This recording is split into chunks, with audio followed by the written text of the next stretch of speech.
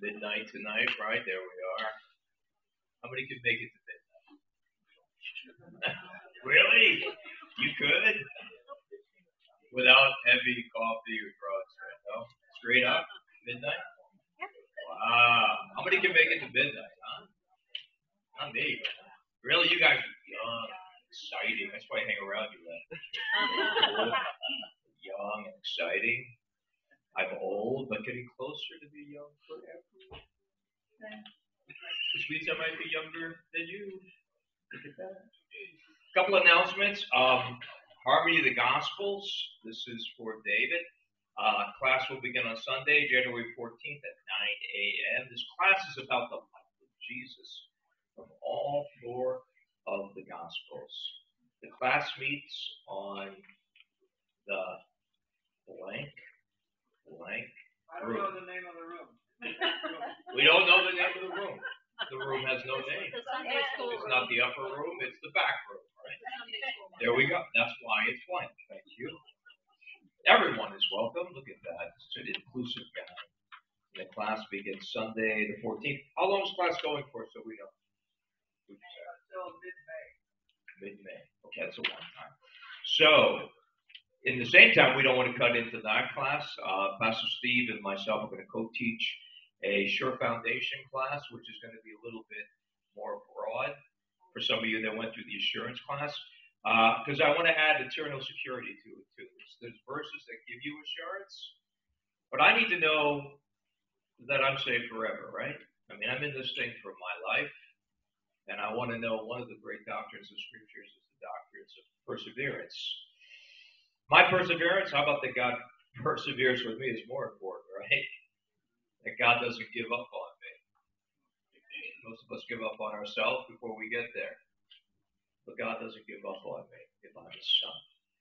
And uh, I like that teaching. And I think that's essential if I'm going to grow through the seasons of life. Uh, we are in the book of Luke. We are in the great uh, biography. You know, uh, I don't know if you get this. The scriptures are all. Luke is the best teacher uh, in this program. Um, he is all about the idea of telling an accurate story. Isn't it good to have an accurate story? Most of us exaggerate stories, don't we? Like if I caught a fish, I would tell you. Then my somebody would say in my family, it was a steak and minnow. See, it was break your heart, okay? People that eyewitness stuff, good, bad, and ugly. But the truth is, we can exaggerate stories. Stories can get exaggerated when you tell them around the room. Usually, the whole story changes. So he went to eyewitnesses. I like Luke because you know many times you wonder, like, well, where was the gospel of Thaddeus? You know, why didn't Thaddeus say anything? Or why? How about Mary? Right?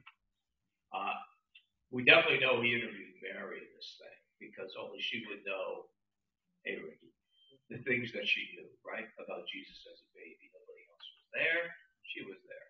So we definitely know she uh, she was interviewed. She probably didn't want to write a book, but Luke did.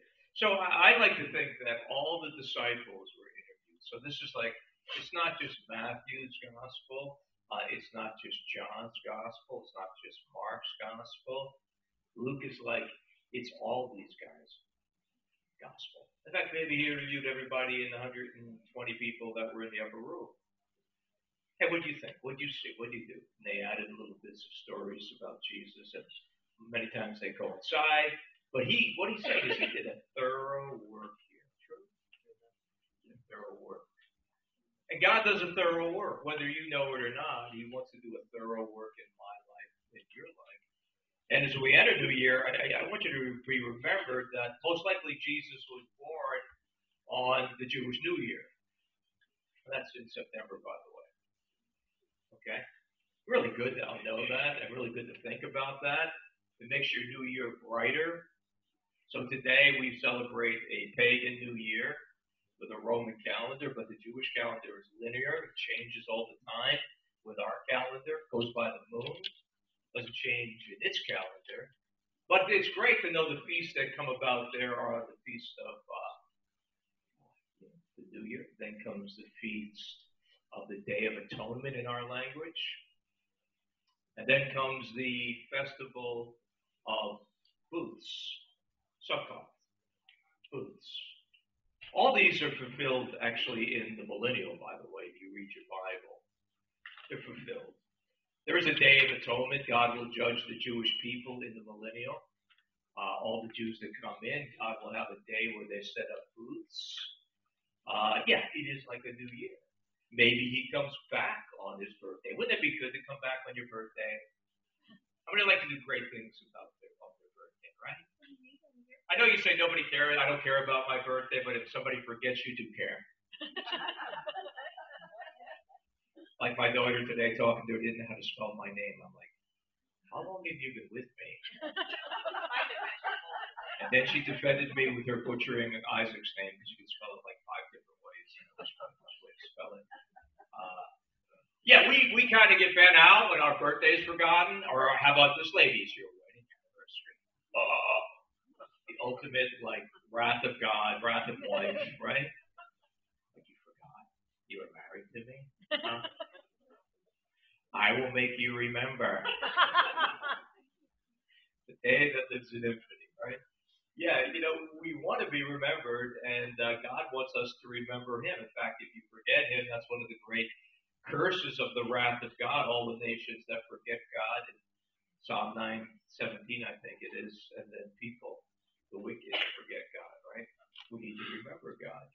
No better story than the book of Luke to remember God, by the way. No greater story. It really is as you know God and you become more and more like God through revelation and the Holy Spirit. That's why, you know, we're preaching revelation and the Holy Spirit.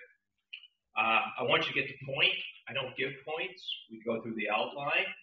I want you to get the point from God. I don't want to tell you a point. I don't want to point my finger at you. I want God and the Holy Spirit to do what? Convict you. You can't repent without conviction. Okay? And the only way you change is by repentance. True? And then you have the three R's. You know the three R's? What do you know the three R's? Reading, writing, and reading. I was in a problem with it. Because arithmetic starts with an A.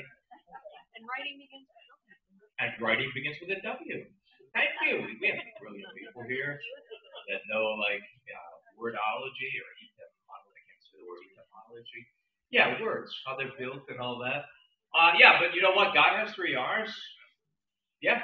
Yeah, we're gonna say four R's. Remember, right? You're gonna get you gave me a fourth R. See, see the value? Remember, right? Repentance. True? reconciliation, and how about restoration? You think they're more important? Yeah, I'd rather be really, really dumb at math than know that. That God has a plan to do that. Conviction's about remembering, isn't it? It's a good point. Conviction, I got to be convicted. Uh, how the body's many people. Jerry Consolini gave me a theological word today. and you, Barbara, thought it couldn't happen, and there it is. See, awe. The ten days of awe.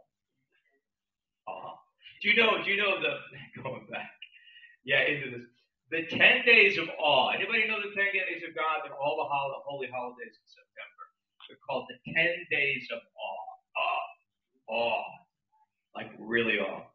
And really, it's great to think that they start at the birth of Christ uh, Jesus in, in, the Son of Man, which is this book here by Daniel, uh, he lives like three days, doesn't he? I mean, three. He lives three years. He's on the gospel three days, and then the re- tribulation is what? The one week of Daniel, right? The last week, which will come, and that's the tribulation, the day of Jacob's trouble. It's called, but that's seven years. What's three and seven? Jesus' ministry, as God, Jesus coming back. Three. This is for math now. I know I didn't. I put down arithmetic. Seven and three equal ten. Ten days of awe. Ten days of awe.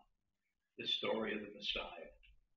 Ten days of awe. It peaks in his three years in ministry. And it peaks during the tribulation when he comes back again. Comes the first time, comes the second time. That's why he might come back on his birthday and then all the Feast of Atonement, the Day of Atonement for the Jews, comes to fruition as a nation, and then also the Booths of Sukkot come about. That's scholarly. It's not all mine, there's other people too. But it makes way more sense than a Roman holiday for a pagan holiday made Jesus' birthday, doesn't it? Right? It's a better New Year. I would like New Year to start with Jesus. True? And I'd rather get uh, not make a resolution because how many ever keep their resolutions? And then how long is the shelf life of your resolution? Not long, right? But how many ever, when they see God in the fullness of who He is, the God man? By the way, when we talk about communion, that happened, the merging of that happened only through one thing blood. His blood. He merges the divine with the human. By his blood, he binds the two. Colossians chapter, I think it's 2, Ephesians chapter 1.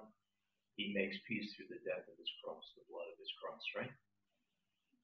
He binds us together with him through that. Love that. And I love, like, when I think of New Year's, I like to think of it as like, hey, you know what? This is a new beginning. Everybody needs a new beginning. But I don't need a new beginning that's going to be old tomorrow.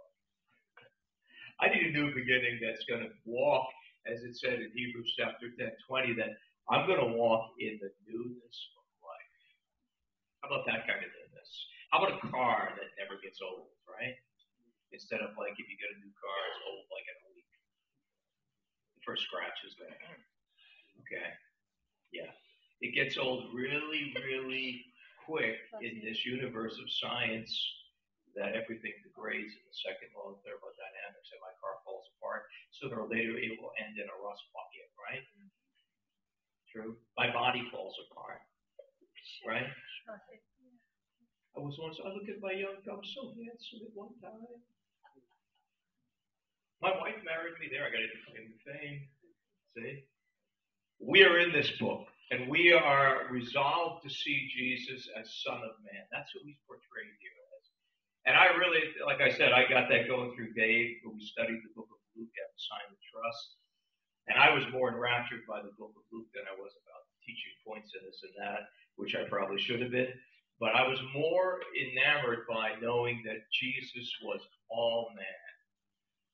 And Luke does the best job. And right after this is Son of God. The two are both there. Son of God is hammered into divine by John. But he also mentions Daniel being the Son of Man. You can't have one without the other. The priority is here for you to know he was a man because guess what? He's Jesus. You can identify with a person, and even that's hard today, but you can identify with a person who loved and died for you, but also lived a life, a full life you can identify with him way easier than he can a spirit, right? That's why religion becomes so evil in the sense when it portrays Jesus in the dark ages. If you look at the dark ages where everything was an icon, icons were like they're not dimensional. So they were painted, if you look at medieval art from the dark ages, Jesus is like, like not multi-sided, but just like an icon flat. And it's also depicts him usually as gigantic. Guess how it depicts you?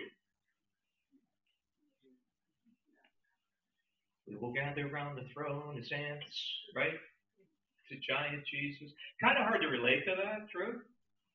Kind of like he might step on me, true? But that was medieval art. That's why it's good reason it's called the Dark Ages. But the Renaissance came, don't forget the Reformation came too. And that was part of it, where men were more reading the Bible and they began to see God and have knowledge of God to worship Him, and they saw Him in what? As a man. And therefore, when you get Renaissance art, you see an equal equilibrium of the two that the people around Jesus, Jesus is a real person depicted, and you see people as real people, and then you can have a real what? Relationship. You won't get stepped on, right? By a physical Jesus. He can know you and he lived a life that he could experience everything you go through. That's what Luke is portraying. Because you got to remember, at this time, there were all kinds of heresies. What were heresies? Heresies were depicting Jesus like floating as a baby. There's many stories. You want to read the archives of Apocrypha? There's many stories about Jesus' life from 30 or from 1 to 30, you know, and, and they're not in the Bible. This is the only part we're going to read that depicts Jesus in 30 years of life. But there's a lot of stories about floating babies, and he wasn't real, and you know he did miracles, and he went to Arabia, and you know as a baby he floated over there. Whatever it is, there's all kinds of stories that he was spirit and he was supernatural. He went he went to the American Indians, right? I know as a baby he could have, but there are all kinds of extra stories. Many of them Gnostic, which were they either portrayed in dualism his manhood, that he was man, he really wasn't God, or they portrayed the other, these are all satanic, they portrayed the other side that he was all spirit and God never was a man. Because how could it be a man in Greek culture? The flesh was evil. So how could God become evil? How about this one? How could God die? That's crazy, right? God can't die. We wouldn't be here if God died. So you had all kinds of non-thinking Gnostic heresies that people fall into. They're still here today.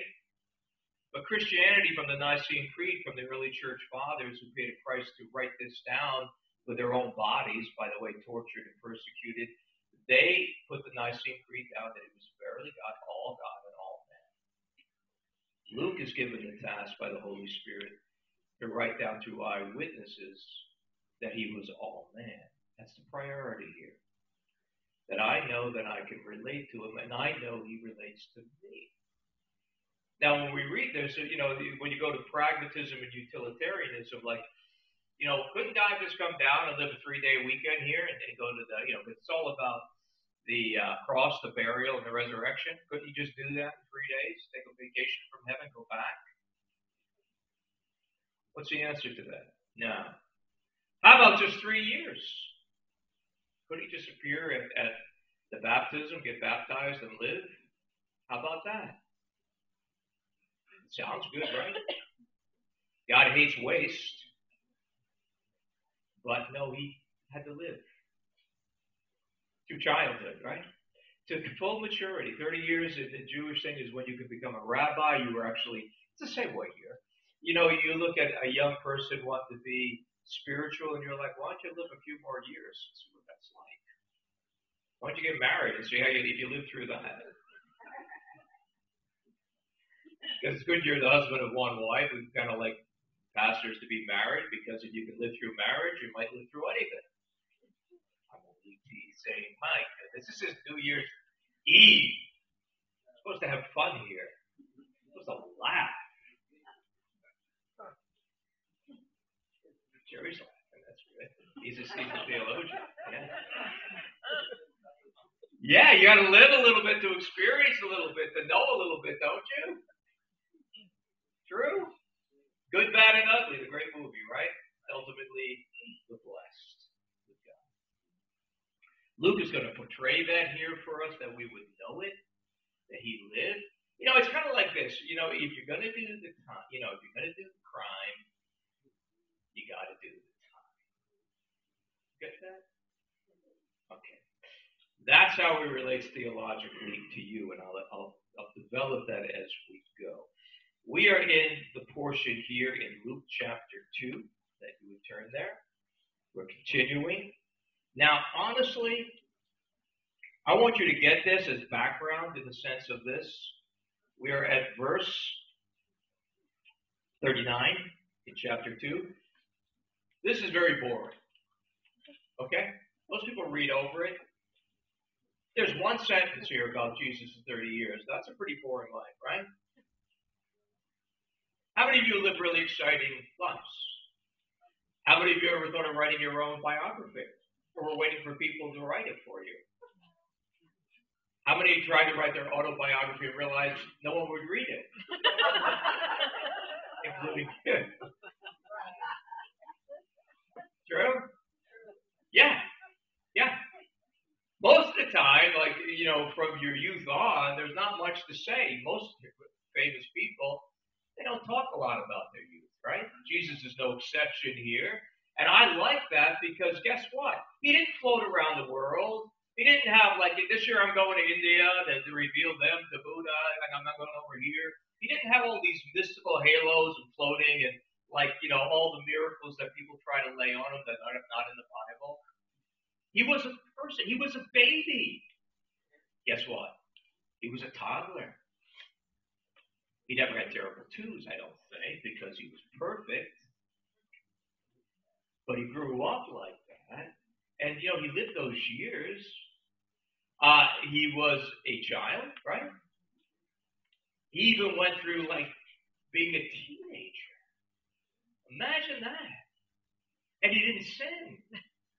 I mean, most of us, the greatest sins of our life are in sins of our youth. They would say all over and over again, God, forgive me from the sins of my what? My youth. That's because that's when you're really dumb, right? And you think you know everything. True.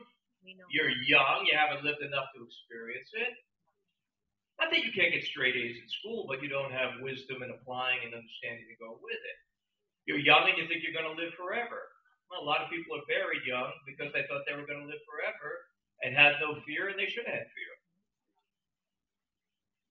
But they didn't because they were going to live forever. I thought I was going to live forever and die at 40. Maybe God will give me a, seven more years than Jesus. Look at that. But past 40, you can keep it. Those people are old.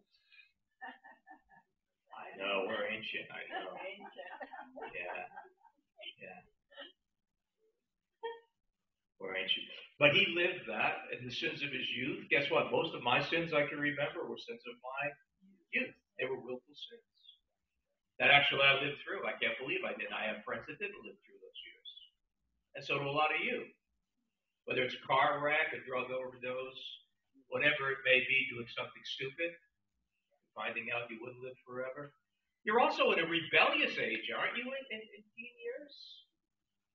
Like you start to think literally in your mind, I've said this over and over again, something happens at the age of accountability around 12 or 13. Jesus is 12 here when we read this, and he begins to be a son of the law. But you begin to judge your parents. Years before that, it's like, sure, mommy, I'll take out the trash. At 13, it's like, you have two hands.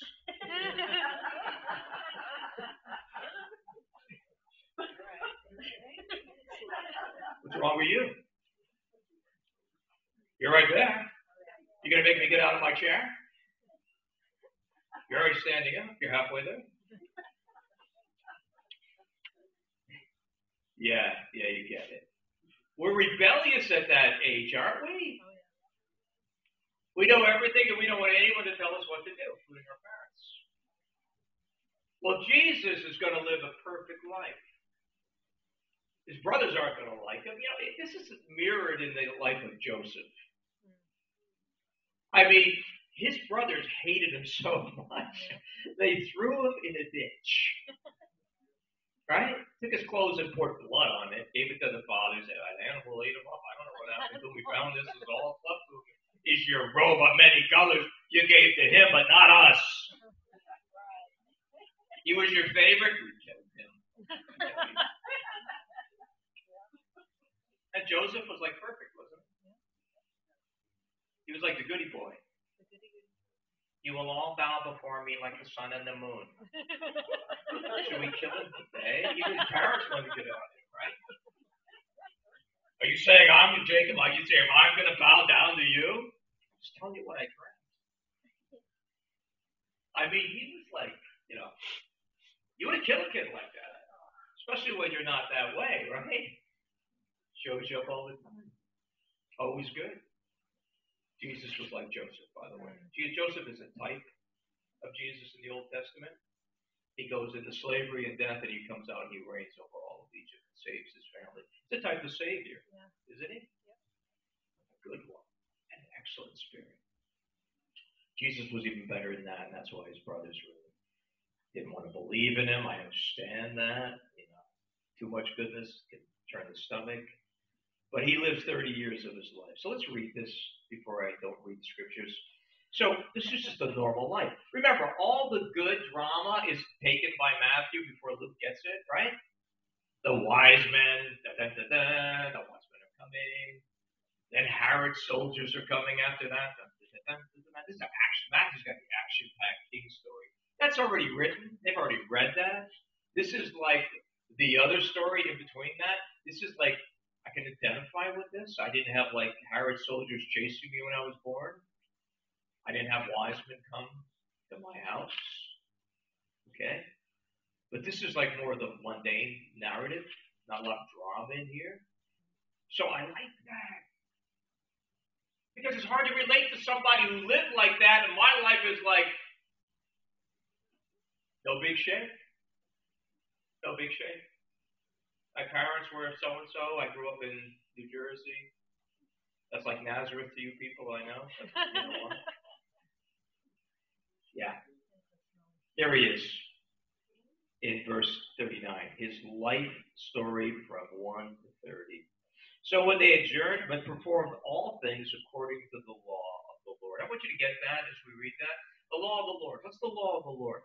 The law of the Lord is all the commandments. They were very devout, uh, that they kept all the laws. Well, they should be because this is been told to them this is the Savior of the world, right?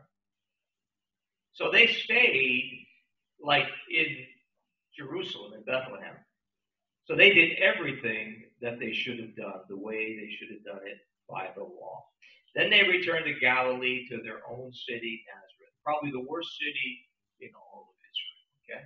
For him, this is a place, you know, where he grew up, which is like the worst of the worst.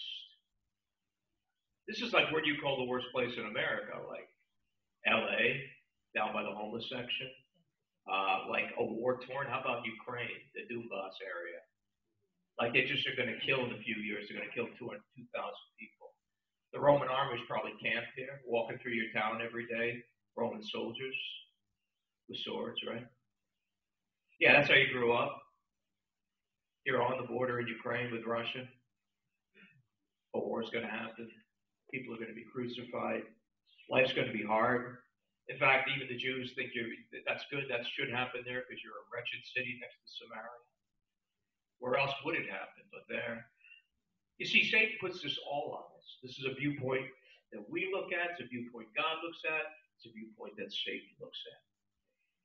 So, yeah, this is the worst place he goes to, Nazareth. But the child grew, and this is what the New Year's resolution for all of us is that your soul would prosper, like John would write in Second John my soul would prosper, my whole life would prosper equally together. He was there, and you know what it says it did? The child did what? He grew and became strong in the spirit, was filled with wisdom, and the grace of God was upon him. This is like a New Year's hope for all of us, isn't it? I mean, that's my hope. I, I feel like that coming out of surgery. I feel like God kept me alive. I have no idea why. That's what I told my cardiologist the other day who was half in the bag when I saw him. I go, what can I do? He goes, you can do anything you want. Go, Great, I'll tell my wife that. he goes, you're fine. Do anything you want. Can I go to the gym with the boy? Yeah, do what you want. Great. Yeah, yeah. And they, he asked me, I go, well, how do you feel? I go, I hope, you know, I did a Dave Ramsey, better than deserve. I don't know why God kept me alive, but he's like, ah, that's great. He kept me alive. He went on his way. No chance to witness. But I feel like God's given me a renewal of life. And if I have a renewal of life, I was in the gym yesterday, lifting weights again, which felt great, but I need to get stronger. True? Guess what? You need to get stronger. Body, soul, and spirit. You can't neglect any portion of it, right? Your body falls apart, there's not much good temple, your temple's falling apart, right? Hard to worship in a falling down temple. So he became like that. He'll say this again at the end of this portion, by the way, just so you know. He'll close with this in verse 52. But the story goes on in verse 41 that his parents went to Jerusalem every year to the feast of Passover. Now, this was a big feast, one of the big feasts. Not everybody could go to all the feasts. This was one that they went to. This is one that Jesus actually fulfills. Remember, if that analogy is correct, he may have been born on the new year, But the Day of Atonement isn't fulfilled for Israel. The Day of Sukkot isn't fulfilled for Israel.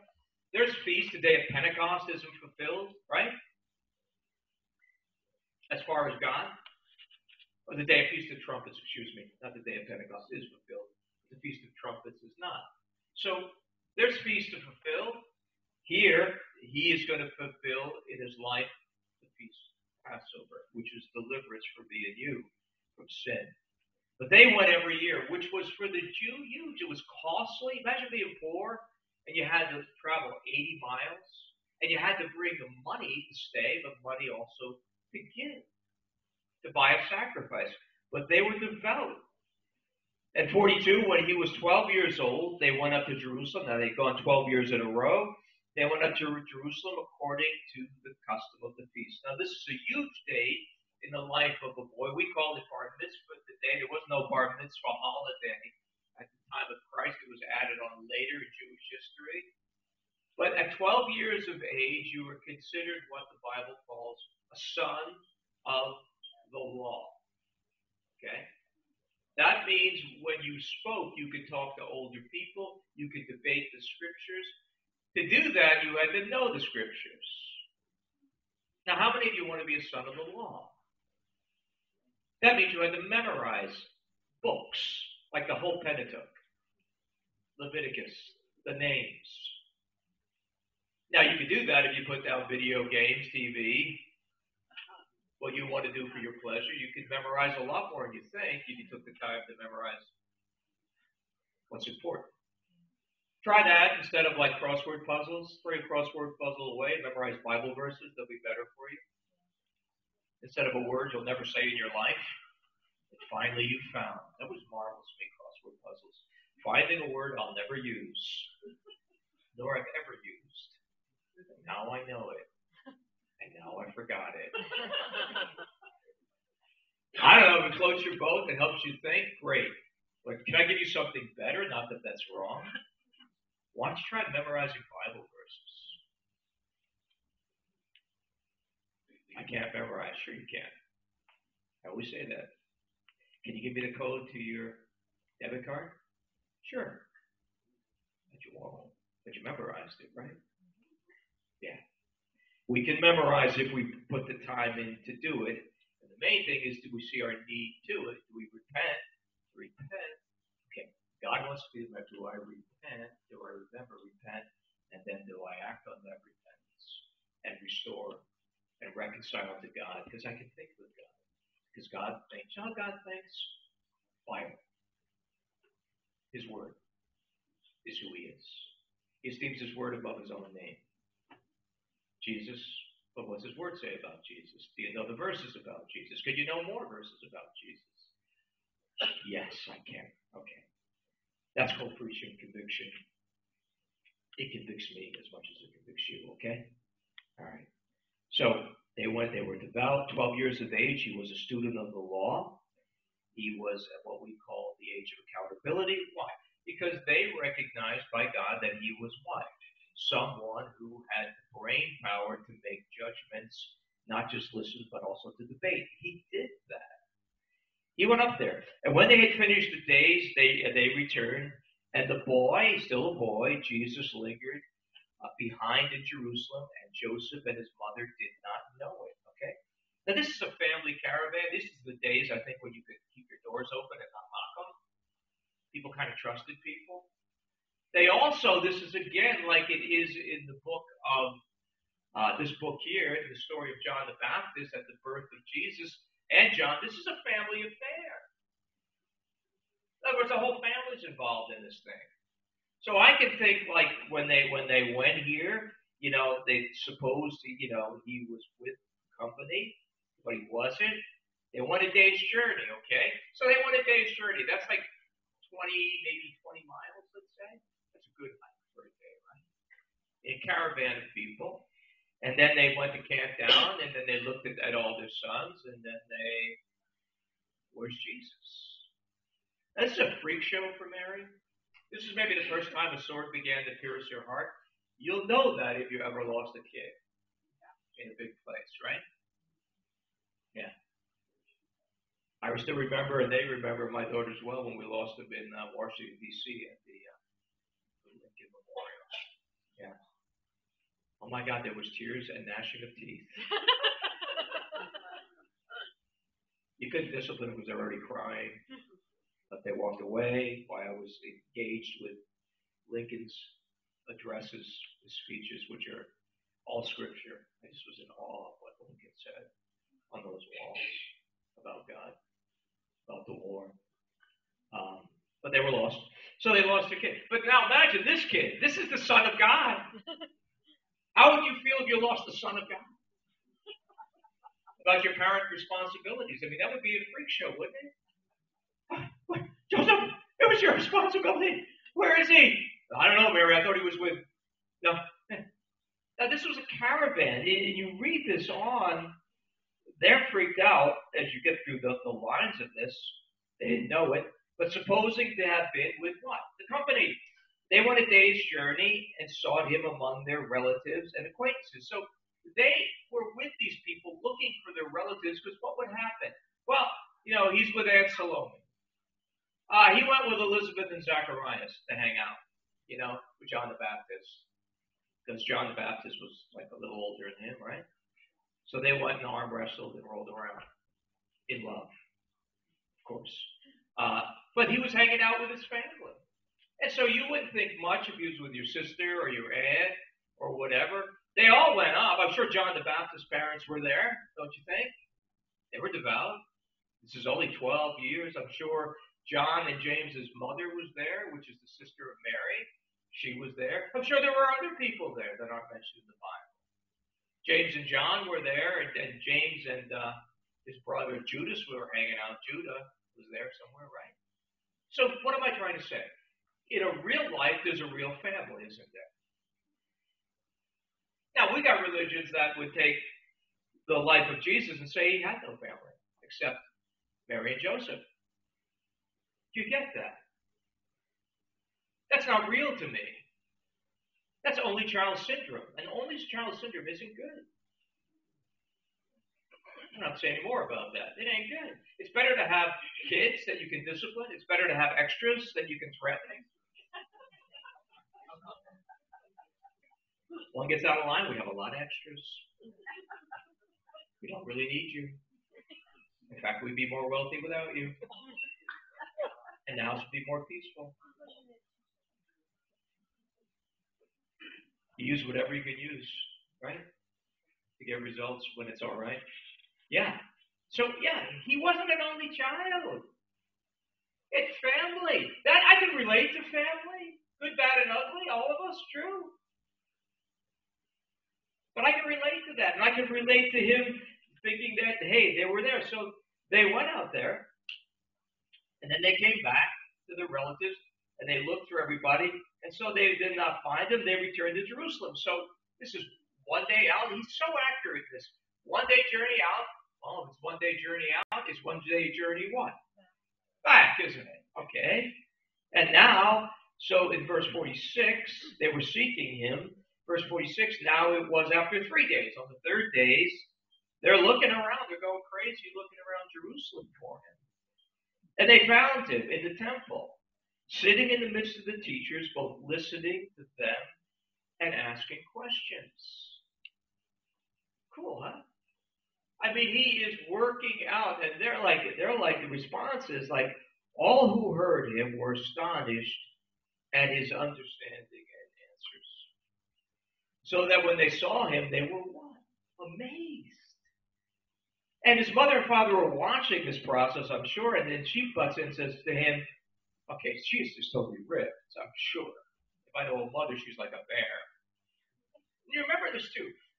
This kid has never disobeyed mother. True? And she thinks this is total disobedience.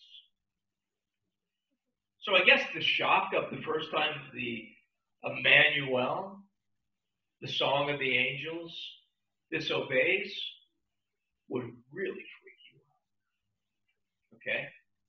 What is going on here? You, she's about tempted to say. My God, I don't know what would have happened if, she said it. You are a bad boy. I've heard that through all my siblings, but never me. You are.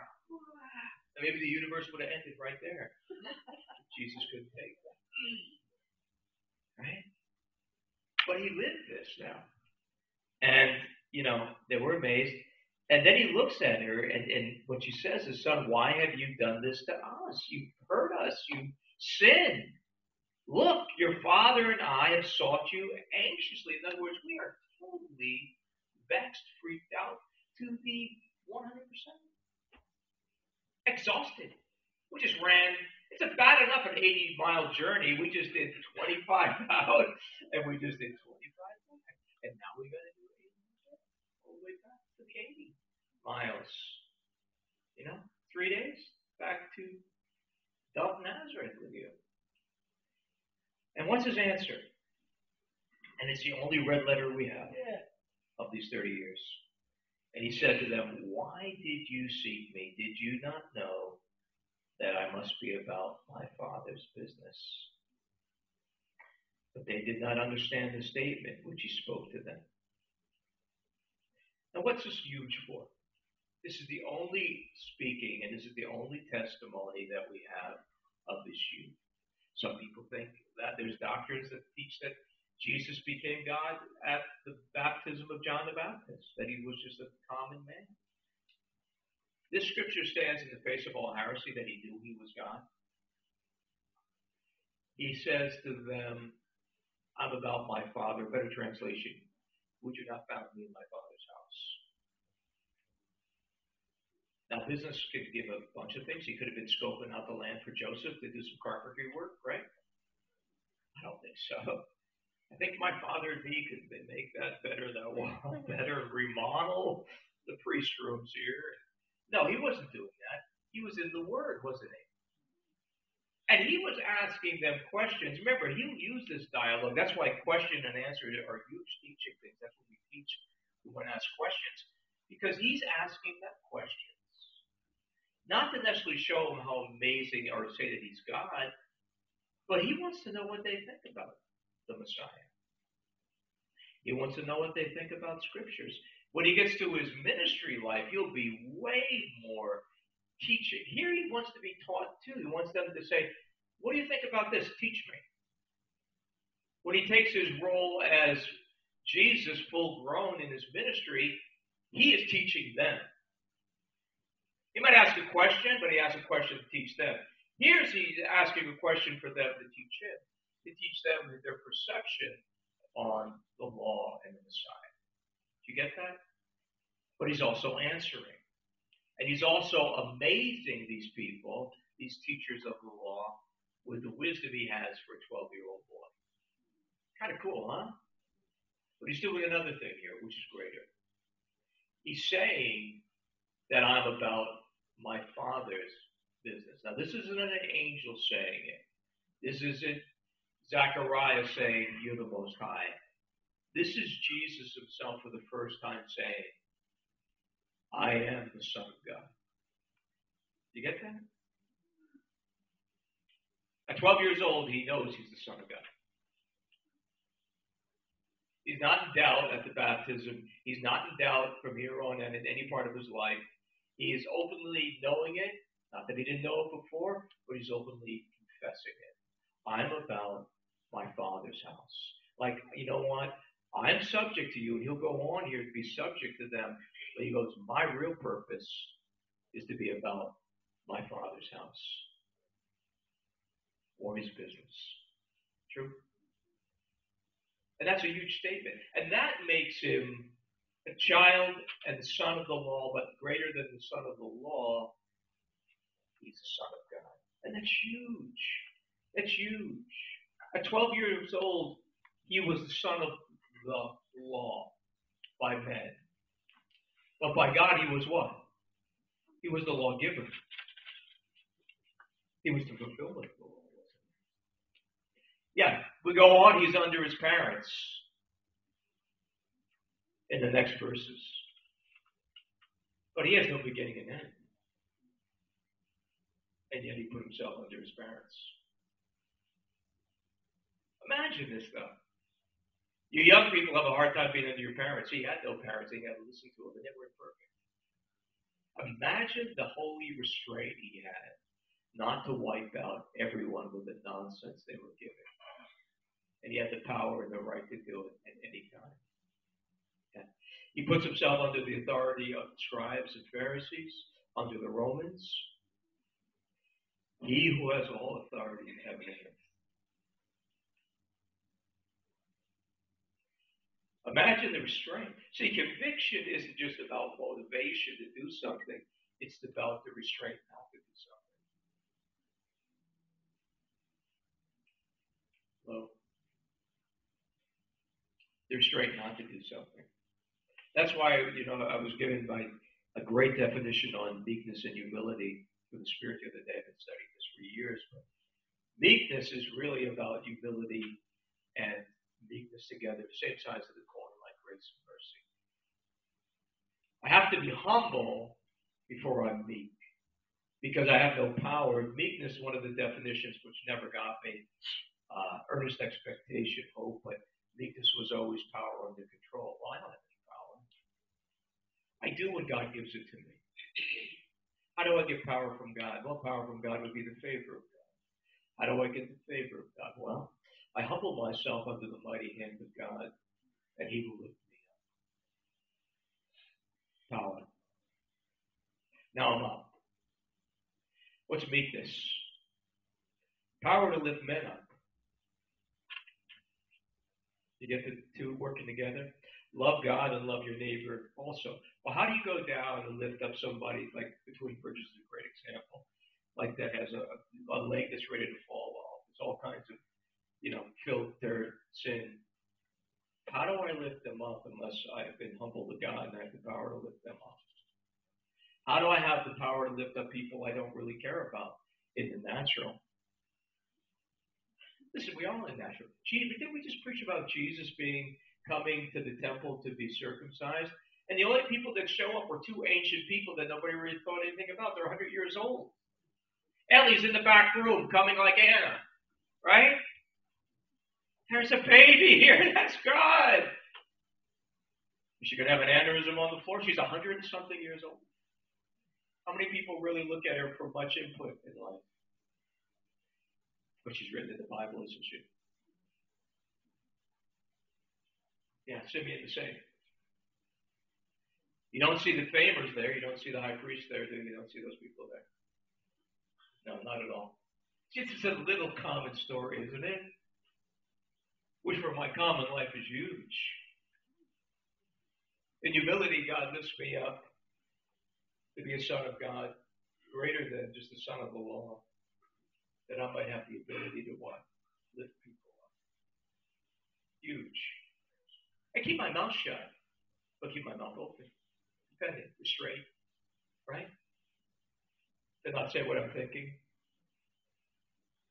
and love to say what I need to say. It's a good definition.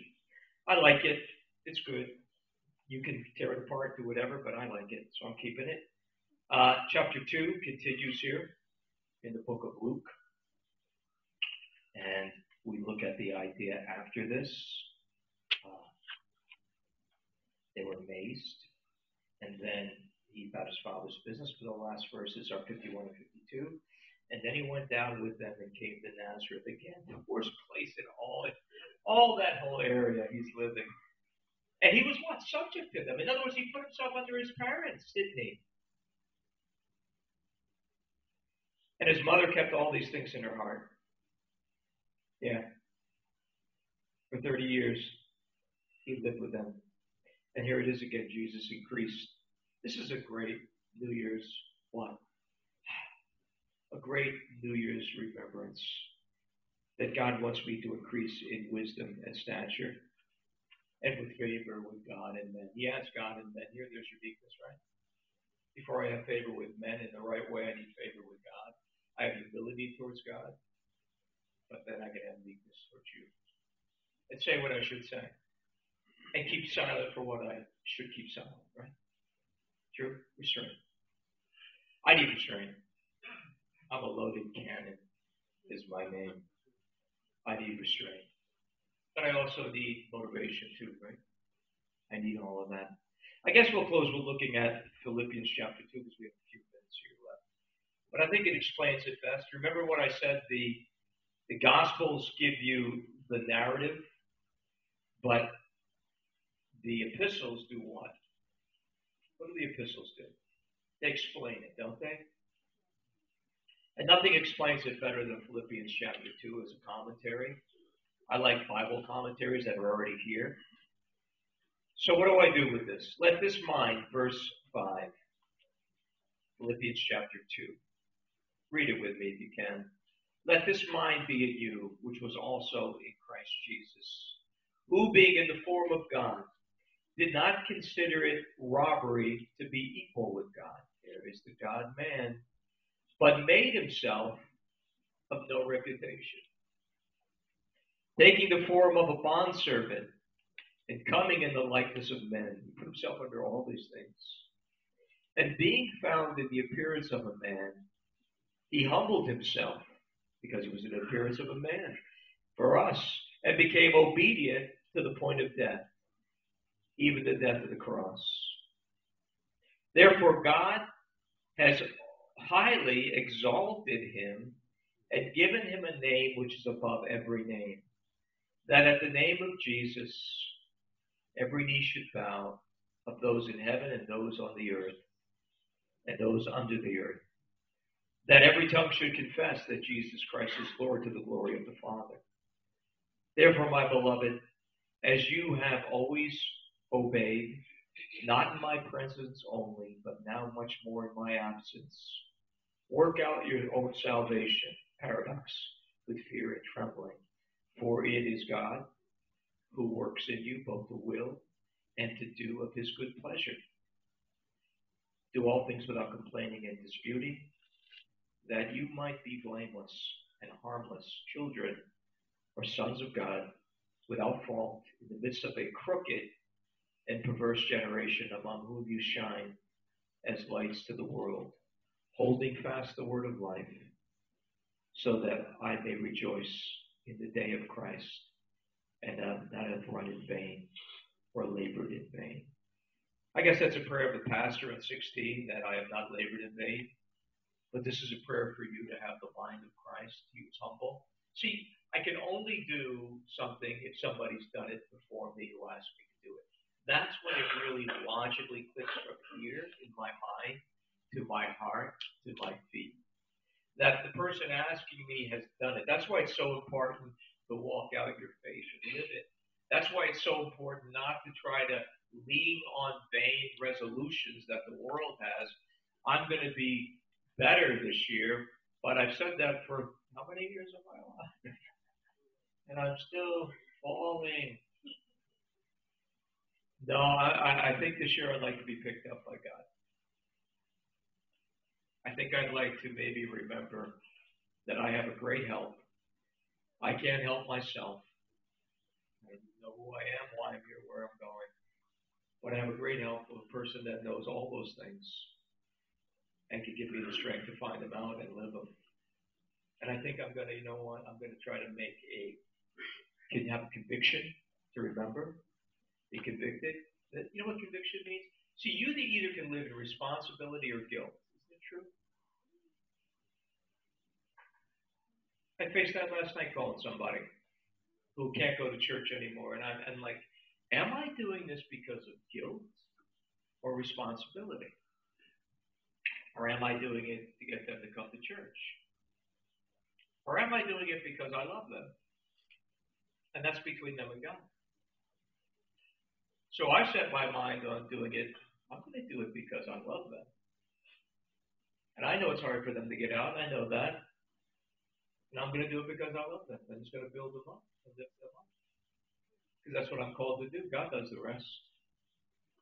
And I set my mind like that and I was, it was such a great time. It was responsibility, and there was no guilt in it. I don't want to be motivated by guilt. God doesn't want you motivated by guilt. He wants you to be motivated by love.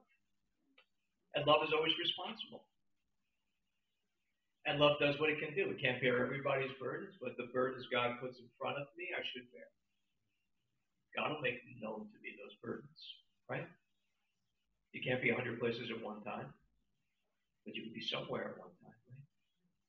And being responsible to those things. I'd like to see our New Year's resolution for the church and for each other to grow in grace and knowledge of these things, right? To grow strong in every area we can improve, but also like make him known and have favor with God. Isn't that good? Yeah, you guys can come up. Let's sing the last song. We'll try to worship at the end of the service. And look what I did, Mel. It's 20 after, right? So listen, in the back, I didn't say this. If you have a testimony, you know, I know some of you do. Jonathan probably has one. He always has a testimony. But we're going to have the mic open. I've got a testimony.